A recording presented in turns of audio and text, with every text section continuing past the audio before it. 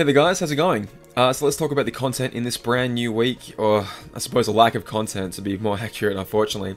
Um, so real quickly, there's past Avatar boards that have returned, so there's like Roxas and Naminé and Halloween Go uh, Goofy and Halloween Donald, but really nothing to write home about there unfortunately. I mean, unless you want to dress up as Roxas, I pretty much see no value in any of those boards.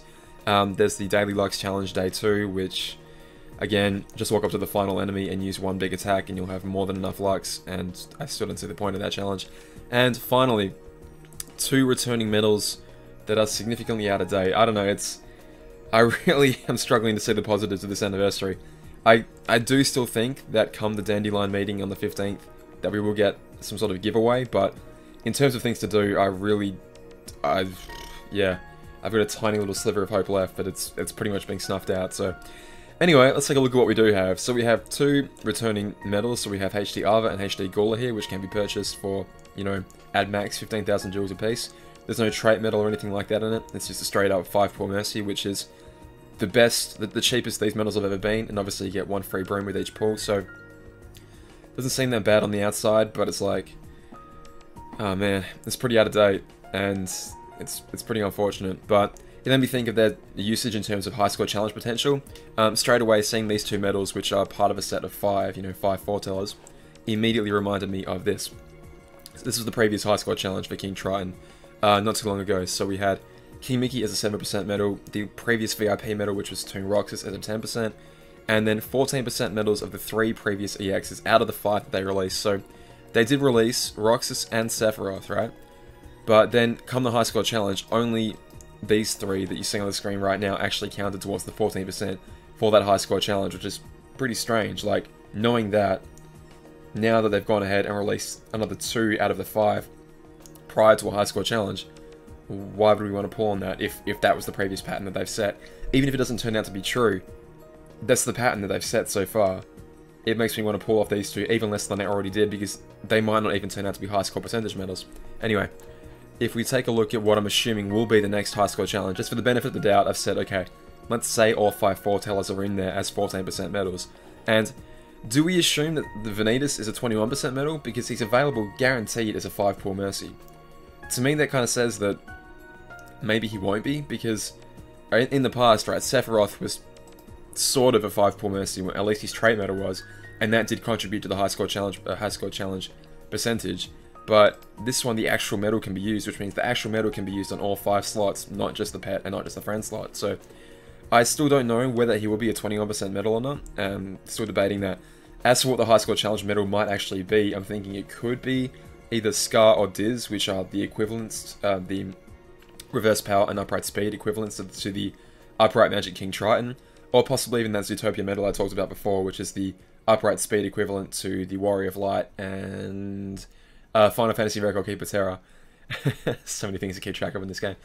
Um, it could be those, and they're all great medals, but I mean, it could be something entirely new. yeah, original content. Probably not going to happen, so... I don't know if you guys want to pull for these medals now, considering that, based on the pattern they've said, they may not even be high score challenge percentage medals. It may just be these three here. Um, if that is the case of these three here, and if you decide, do decide you want to pull on them specifically to use them in the high score challenge, I mean, one, you probably wouldn't do that already because, again, 5 Poor Mercy right there. Like, spending 15,000 jewels is going to get you higher percentage than spending 15,000 jewels here. And you could pick up, you potentially pick up a trait medal along the way, which obviously gives you an additional 21% every single time you pull one of those. So, well, I mean, you can only use it in the pet slot, but you know what I mean. Uh, I yeah, I don't see the point to this at all. I mean, I guess if you want to go ahead and get traits on your foreteller medals, good, I guess, but yeah, it just sort of baffles me. In terms of using them for the high score challenge, I'll bring them all up just just for the sake of argument. The three on the top, I've put the three on the top because they're all one-hit medals to the best of my knowledge, whereas the ones on the bottom, uh, Gula is three hits and Invi is four hits. Um, so obviously, using them in a high score challenge, you want the benefit of having a single hit medal. So this is pretty much the only benefit I can think of. If you do want to pull for one of these, again, assuming Ava is in the high score percentage bonus, which they haven't given us any reason to believe that she is, she be the one to pull for, I believe, or any of the three on top, because I believe they're all single hit medals. I believe. I, I don't actually own any of them, so I can't test this for myself, but I believe they're all single hit medals. Um, and obviously in a high score challenge, a single hit medal is preferred for taking out enemies. Um, yeah, I, I definitely recommend skipping this just because to me, this seems like there's no benefit in the high score challenge. They're outdated medals as it is, unfortunately, which it just speaks to the pace of this game that tier 7 medals are now classed as outdated, and as ridiculous as that sounds. And yeah, even if they are going to be high score challenge medals, I don't know, there's less risk by pulling for either Ira or Aced than there would be for pulling uh, Ava or Gula right now. Gula you definitely shouldn't pull for. I don't recommend pulling for Gula at all. Unless you just like the medal and just want to guilt it or have more traits on it. Again, I'm, I'm coming at this from a very competitive mindset, from like a free-to-play competitive. There is a fun aspect to be had in this game, of course. It's not all doom and gloom. So, hey, if you want to go ahead and try and pull for a Gula, you know, you got one before and want to get some traits on it, or just guilt the thing, go for it, man. Go for it. Honestly, I highly recommend it. Um, I believe it comes with dots.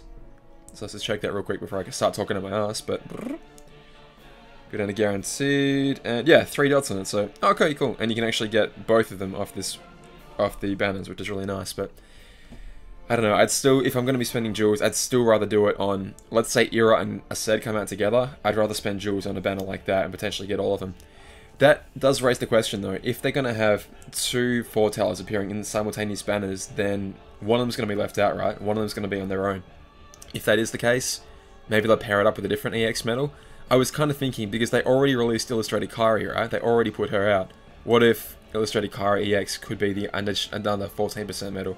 you know, because they had a, medal, a banner that looked exactly like this before with um, uh, a five star or above and a broom coming out. So could be, uh, sorry, a, a, tier five or above and a broom in uh, in every single pool with a five pool mercy. So maybe Illustrated Kairi EX could be a 14% booster as well, but I mean, who knows? Anyway. I've rambled on long enough. Let's go ahead and do the daily pull. And yeah, there's really nothing to talk about in this game, unfortunately, which is really depressing, but it's the situation that we're in right now. So let's go ahead and be disappointed again with another five star piece of crap, and I'll see you guys later. Catch you later, guys. Bye. Day three, still nothing.